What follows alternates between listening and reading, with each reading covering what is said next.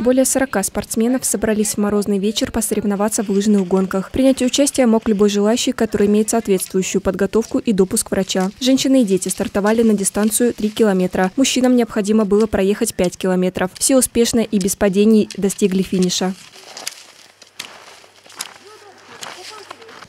Чтобы быть успешным лыжником, ну, качество, значит, э, терпение должно быть, очень большое терпение, целеустремленность. Ну и надо любить, надо любить лыжные гонки. По-настоящему любить, тогда будет результат. Первыми среди женщин четырех возрастных групп стали Анастасия Полторак, Елена и Анна Переходкины, Анна Тереченко. Мужской пьедестал возглавили Иван Фетченков, Илья Максимов, Алексей Бизюков, Олег Титов. Приятно, что уже на протяжении многих лет у нас проводится э, гонка, вечерняя гонка «Фонарь».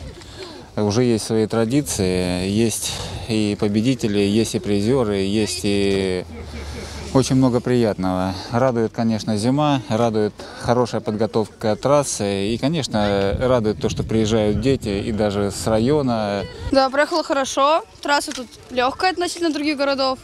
Было много сил и проехала в удовольствие. Тренируюсь я уже пять лет.